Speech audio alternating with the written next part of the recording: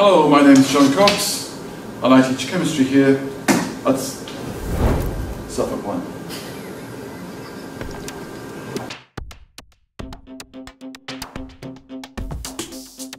Here at Suffolk One, we follow the OCR chemistry specification.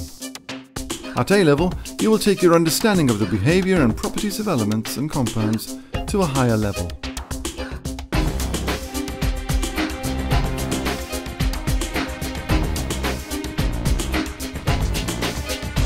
You will experiment with a wide range of chemicals and learn how to handle them safely.